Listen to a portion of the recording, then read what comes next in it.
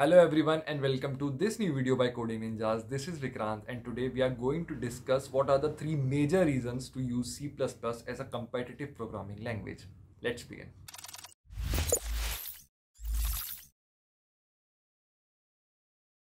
The first and the foremost reason to use C++ as a competitive programming language is that it is the fastest which means when the time limit comes into play in our coding questions, C++ is going to help us a lot it is the fastest then comes java and then comes python. So this is one of the major reason.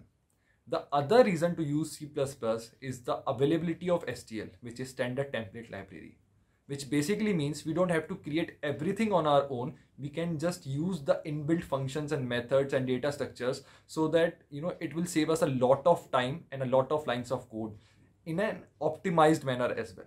So this is another reason to use c++ the other reason to use C++ is the availability of templates, which basically means we can pass any data type as a parameter to a function so that we don't have to create different functions for different data types, which again saves up a lot of time and a lot of lines of code, which helps us in executing our code. So these were some of the major reasons to use C++ as a competitive programming language. I hope that helps. Kindly do subscribe to the Coding Ninjas YouTube channel and press the bell icon. Thank you.